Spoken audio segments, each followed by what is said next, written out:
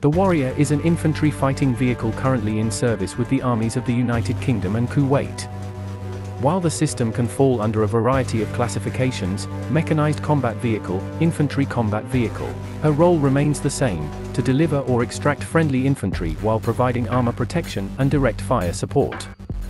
The Warrior is an adaptable and reliable platform that has since proven successful in military actions during the 1991 Gulf War, throughout the Bosnia and Kosovo conflict and, most recently, in the 2003 invasion of Iraq. Needless to say, the Warrior has distinguished itself in many an action across mountainous, urban and desert terrains and has earned her stay in the ranks of the British Army. Up to this point in history, armies made do with the newfound flexibility of tracked armored personnel carriers. These proved to be highly efficient machines that could traverse terrains on par with their tank brethren, allowing commanders to bring infantry forces up to front lines as needed.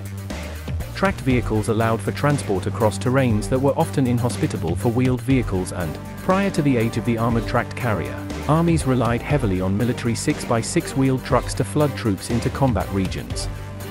While generally effective for their time, these wheeled systems were not well protected and proved ultimately limiting in cross-country affairs. The advent of the armored personnel carrier broadened the reach of any modern land army, and now allowed troops to be brought to the front by some level of protection. However, within time, these light armored and armed vehicles began to also exhibit their inherent limitations, as they became of little value once their infantry cargo had been dropped off. Dedicated armored personnel carriers lacked both the armor protection and firepower needed to participate in continuing to bring the fight directly to an enemy. Perhaps the best known of the Cold War era APCs became the ubiquitous American M113, a boxy, tracked system design that went on to serve in the inventories of dozens of armies around the world. Similarly, the British developed their equally effective FV432 series APCs and now found themselves looking to the future. At the end of the 1960s, the Fighting Vehicles and Engineering Establishment of Chertsey undertook a series of studies to determine the future of British Army needs, essentially looking to replace the aging FV432 series. On the wish list was a tracked vehicle protected over in Chobham armor, powered by a 750 diesel engine and fitting a 30mm autocannon in a fully traversing turret system. A fighting compartment for up to seven combat-ready troops would be integrated into the design and allow the new system the capability to release infantry into combat while also being able to engage foes with its own armament. Armor protection would be such that damage from indirect artillery spray could be weakened and the operating team and passengers would be wholly protected from small arms fire. The vehicle would have to be able to keep pace with the fast Challenger main battle tank series during all required British armor actions. The requirement evolved into General Staff Requirement 3533 and the ensuing competition saw GKN Sankey win with their proposal for the Mechanized Combat Vehicle 80, otherwise designated as the MCV-80. MCV-80 pilot vehicles were made available in November of 1984 and trials proved the design sound. GKN then received funding for production to occur in batch deliveries to the British Army number some 1,000 total vehicles. However, defense budget limitations ultimately curtailed this total to less than and only 789 examples were completed in the end. The MCV-80 program then evolved to become the FV-510 and the name of Warrior was assigned in 1985. Production soon ramped up at the GKN facility out of Telford in 1986.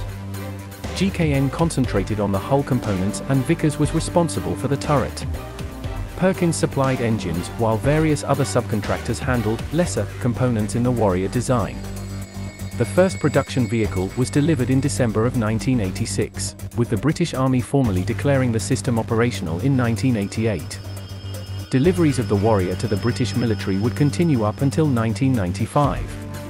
Kuwait became the only other notable operator of the Warrior when they placed an order for 254 examples in 1993. These were slightly different from the British versions in that they were modified for operations in desert environments as well as for Kuwaiti Army requirements. As such, these were known as Desert Warriors, and deliveries of the type began in 1994.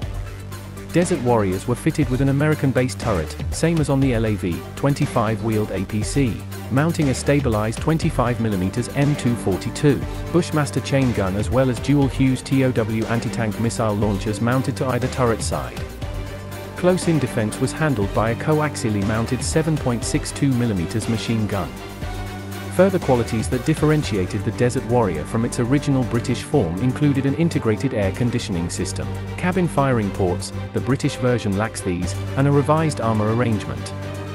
The last Desert Warrior was delivered to the Kuwaiti Army in 1997 making her a relatively new and modern addition. Design of the Warrior is highly conventional.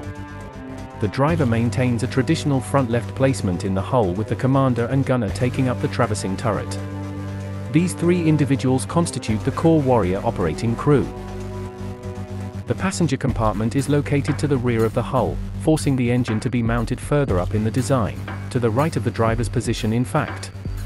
Infantry enter-exit the fighting compartment through a large rectangular electrically powered door at the vehicle rear, hinged to the right-hand side, though not a ramp as in the American M2 Bradley.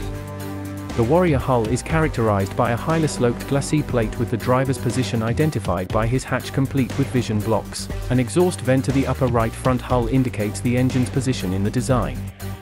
The turret is set in the middle of the hull roof and the aft hull is squared off, this area making up the troop compartment.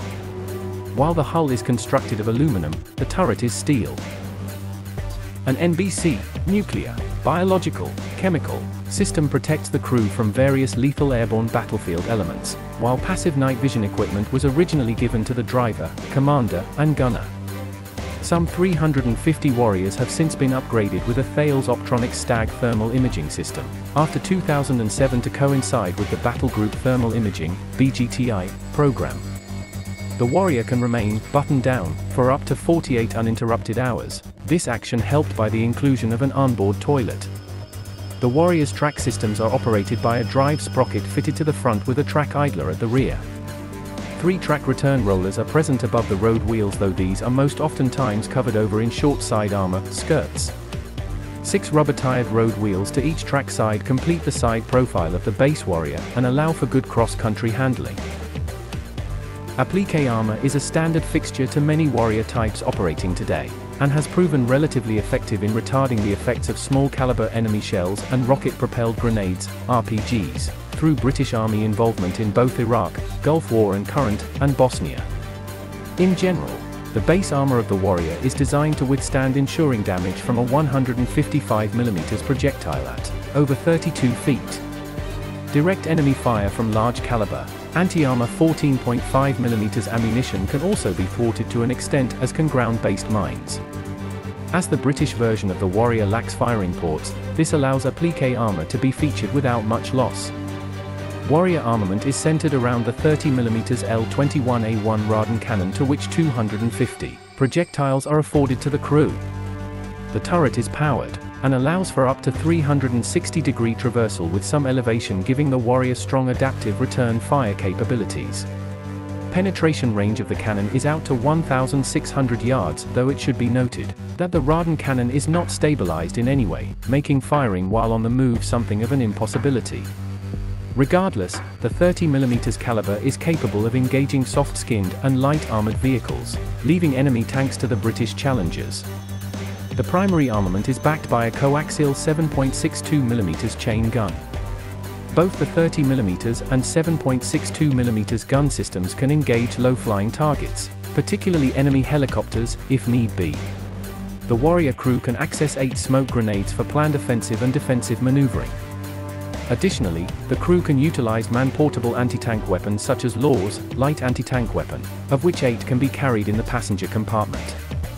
Power is supplied by a single Perkins Rolls-Royce CV-8 TCA Condor diesel engine delivering 550 horsepower. This provides the vehicle with a top speed of approximately 45 miles per hour on paved surfaces, and a range out to 660 kilometers. While not inherently amphibious, the Warrior fields a fording capability of up to 1.3 meters of water. The automatic transmission system is designed with 4-speed settings, FV510 is used to designate the base Warrior infantry section vehicle, and is the standard Warrior form operating in the British Army today. The FV511 is a dedicated infantry command vehicle.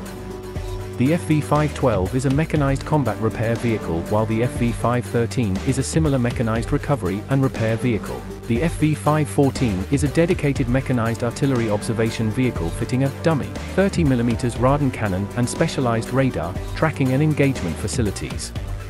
The FV-515 is a battery command vehicle utilized by the Royal Artillery. Some Warrior versions are also fitted with provision for anti-tank missiles. The Warrior 2000 was a proposed modernized Warrior design intended for sale to the Swiss Army. This model was given a more powerful engine, digital fire control system and improved armor, but was not selected for serial production. GKN was eventually purchased by BAE Systems Land Systems the British Army is expecting the Warrior line to fulfill its needs up until 2025 with the help of modernisation programs. Upgrades are set to include all new turrets and a stabilised cannon among other improvements.